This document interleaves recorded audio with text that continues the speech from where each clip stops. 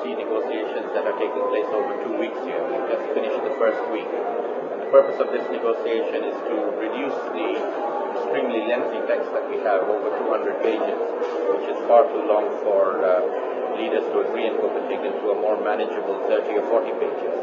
Uh, so far this week we've made some reasonable progress on some of the sections, particularly the adaptation section, the technology the deforestation sections.